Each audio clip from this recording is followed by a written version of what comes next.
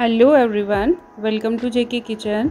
आज मैं आपके साथ कड़ी की रेसिपी शेयर कर रही हूँ। कड़ी हम काफ़ी तरह की बनाते हैं, लेकिन आज हम बना रहे हैं जी कद्दू की कड़ी ये कड़ी सच में इतनी टेस्टी बनती है ना कद्दू की, और बहुत ही मज़ेदार बनाने में भी ये बहुत ईजी है।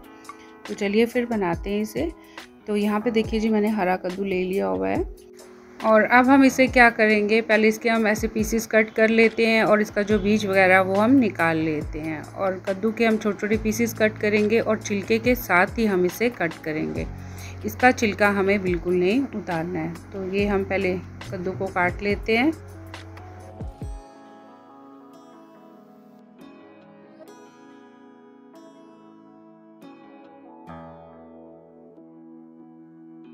और इसके जो पीसेज है ना, हमें ज़्यादा बड़े नहीं रखने हैं, बस ऐसे छोटे छोटे पीसेज में इसे कट करना है। तो पहले हम इसे काट के रख लेते हैं और यहाँ पे देखिए जी, सारा कद्दू मैंने काट लिया हुआ है, बस ऐसे छोटे छोटे पीसेज में इसे कट करना है।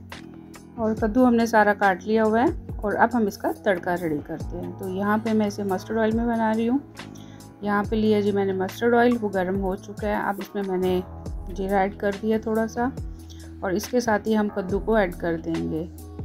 और ये हमने कद्दू भी डाल दिया इसमें। और अब हम इसे थोड़ी देर ऐसे ही भून लेते हैं पहले।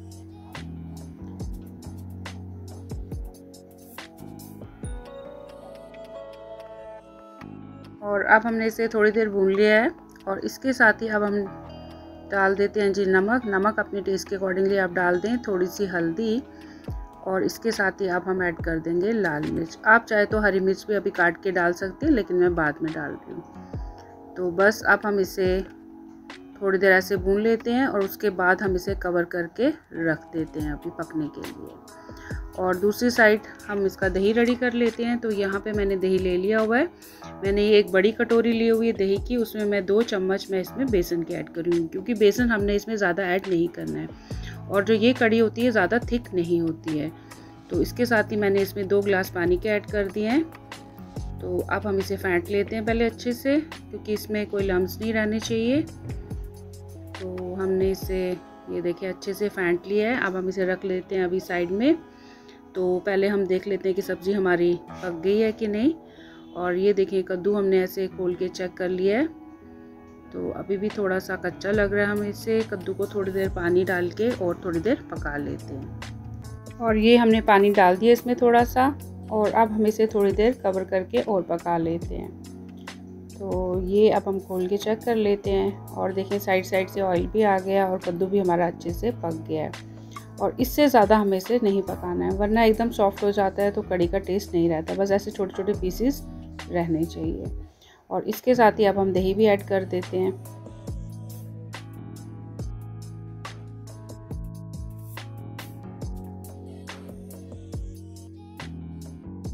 और अब हम इसे अभी बिल्कुल नहीं छोड़ेंगे। वैसे तो इसमें बेसन है, दही तो इतना एकदम फटता नहीं है, वैसे चांसेस कम ही होते हैं फटने के, लेकिन फिर भी हम इसे हिलाते रहेंगे। तो ये बॉईल आ गया इसमें, और इसके साथ ही मैंने डाल दीजिए हरी मिर्चें अब। और अब हम इसे थोड़ी देर ऐसे ही बॉईल करने के लिए रख देते हैं कड़ी को। और जब तक बेसन भी अच्छे से पक जाएगा और कड़ी हमारी उबल रही है, बस थोड़ी देर हम इसे और बॉईल करेंगे। और ये लास्ट में मैंने इसमें डाल दिया जी गरम मसाला थोड़ा सा और कड़ी हमारी पक चुकी है, इससे ज़्यादा हम इसे नहीं पकाएँगे। और नहीं तो क्या होता है कि एकदम फिर थिक हो जाती है कड़ी और बस देखिए छोटे छोटे पीसीस ऐसे रहने चाहिए बीच में। इससे इसका टेस्ट बहुत अच्छा आता है। तो बस थोड़ी देर और बॉईल करते हैं और ये हमारी कड़ी अच्छे से पक चुकी है। तो बस अब हम गैस की फ्लेम बंद कर देते हैं। और ये देखें जी कड़ी हमारी रेडी हो गई है सर्व के लिए। तो कर लेते हैं अब इसे हम डिश आउट और ये हमारी यम यमी टेस्टी टेस्टी मज़ेदार हरे कद्दू की कड़ी बन के होगी। एकदम से रेडी सच में इतनी टेस्टी कड़ी बनती है ना ये। आप इसे रोटी के साथ, चावल के साथ जैसे आपका मन है, आप इसे खा सकते हैं। चावल के साथ इसका टेस्ट बहुत अच्छा आता है।